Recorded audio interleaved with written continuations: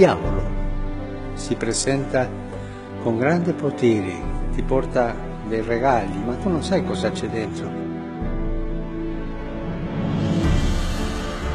Rinnovo l'invito a tutti a pregare il rosario ogni giorno del mese di ottobre, concludendolo con l'antifono sotto la tua protezione e la preghiera a San Michele Arcangelo per respingere gli attacchi del diavolo che vuole dividere la Chiesa.